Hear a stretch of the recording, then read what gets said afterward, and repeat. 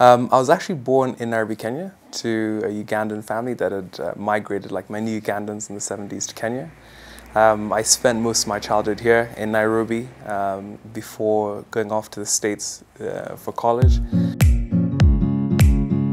I like to think of them as sort of distinct camps. They're not in competition with each other in terms of family and work.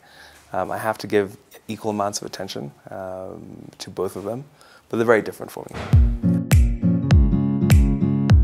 Aside from this financial services focused career, um, I'm also an artist at heart, right? Um, so I sing in a choir, I, I play piano, um, I'm on pretty much almost many concerts, and sort of art is a very large part of my life.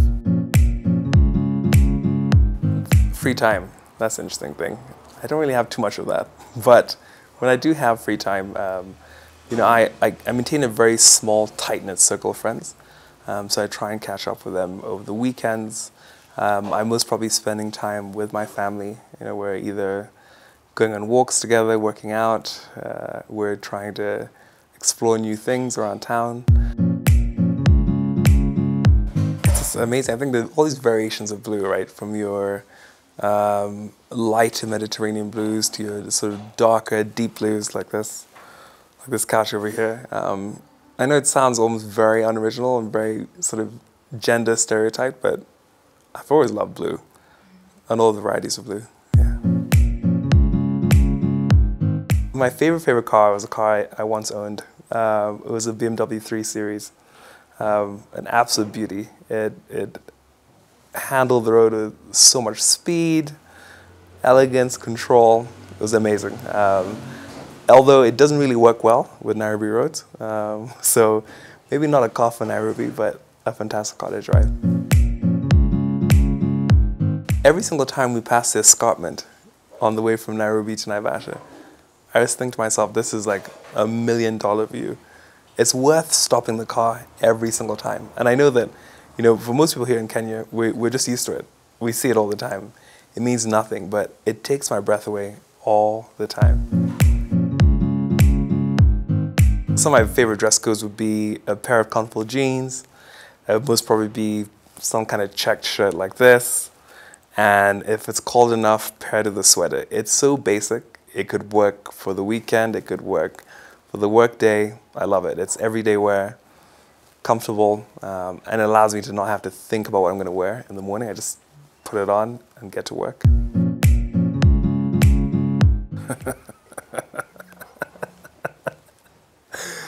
Oh my God, that's amazing. Um, highly unlikely. I'll tell you what. Um, this this goatee here. This is me sort of trying something new. You know, I've sort of been clean shaven most of my entire life. This is about as far as experimental as I'll ever get, really. I love food, by the way.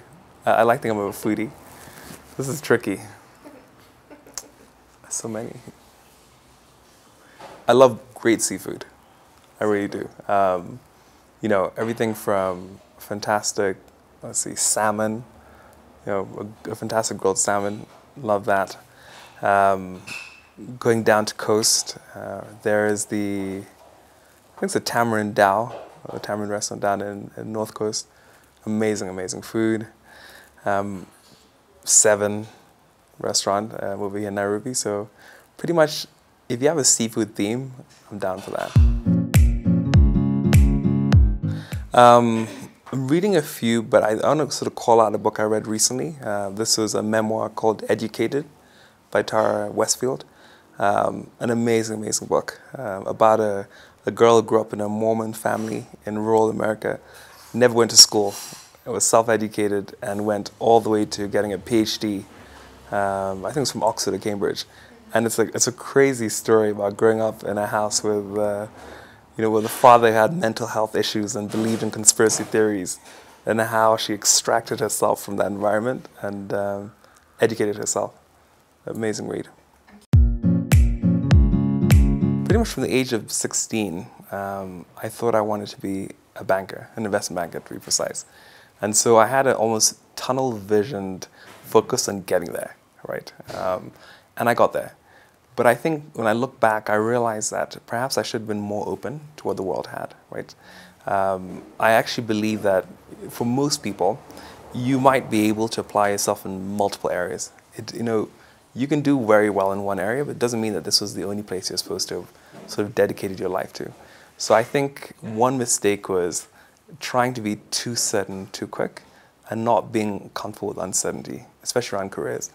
And so I generally encourage people to sort of go out there and not know, to let life sort of show them where they should be, what they should be doing um, as individuals.